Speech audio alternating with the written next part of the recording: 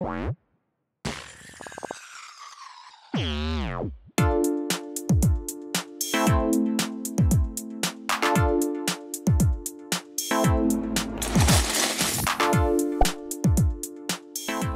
LEGO Mindstorms and LEGO Technic fans.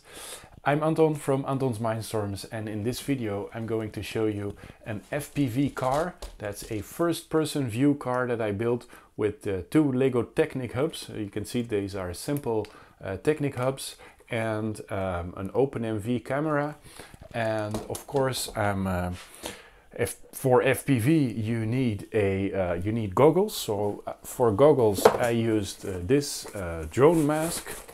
So uh, it's a simple lens actually, and you can fit a smartphone inside.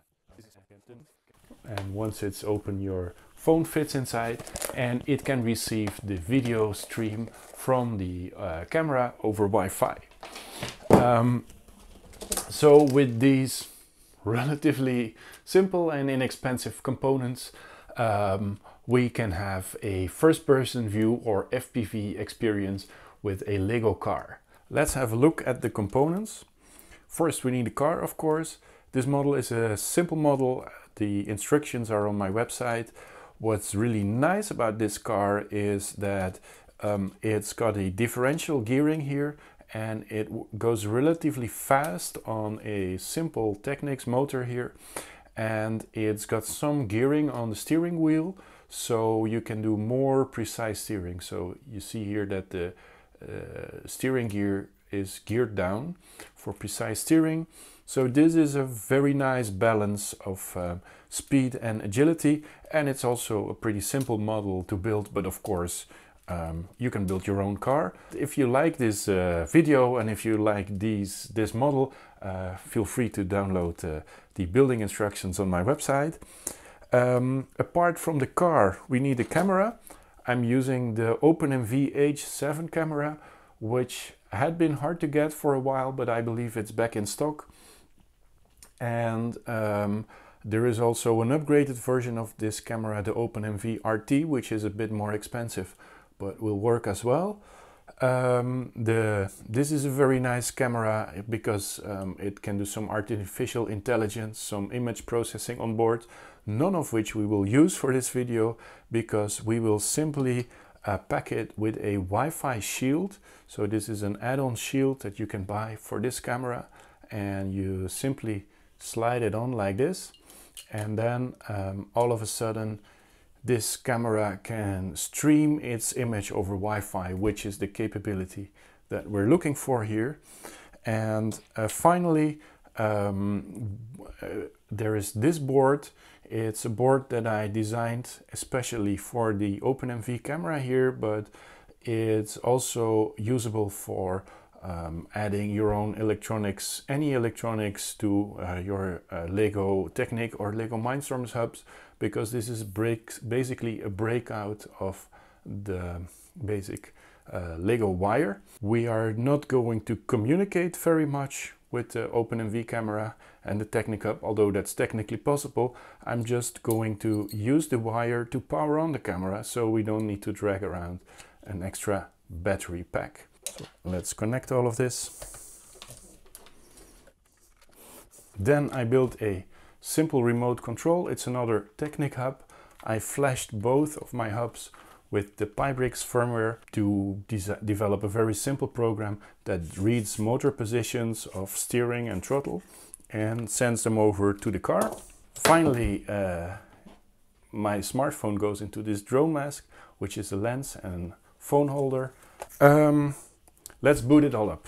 Um, if you like this t-shirt, you can buy it online. I designed it myself uh, just for fun uh, because I wanted one and maybe you want one too. So uh, if you want one, you can get one uh, through my website. I have different designs. I'm a fan of uh, MC Escher, so I try to make these impossible Lego buildings. And if you think those are funny, uh, be sure to get a t-shirt. Now we can simply power up the Technic Hub on the car here and then the OpenMV camera starts a web server. And in my smartphone I can use my browser, I'm using Chrome in this case, to uh, go to the IP address of the camera. It's all on my local Wi-Fi network. And you can see it starts streaming. And you can see the the lag is very limited. So when I close my hand it almost closes in real time on the camera which is very neat and which is pretty hard to achieve on a Wi-Fi camera so the streaming is uh, working here um, what's left is uh, putting the camera into the goggles here so let's put everything inside and close this up. Then um, we need some code here.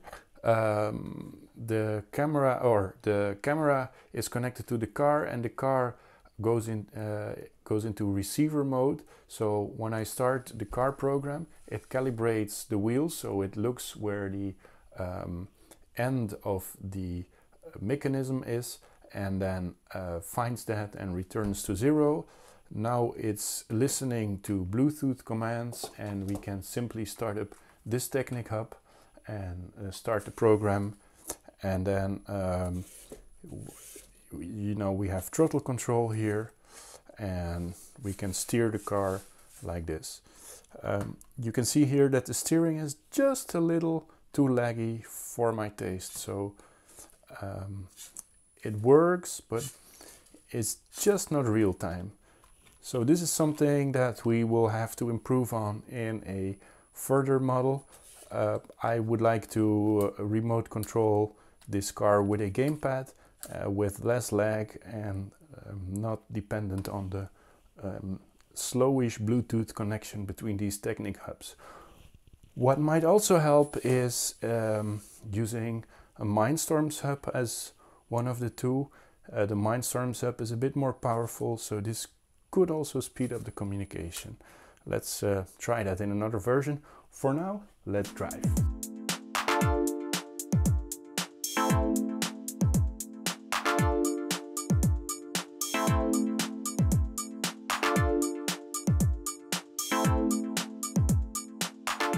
Now let's have a quick look at the code. The OpenMV code is pretty straightforward.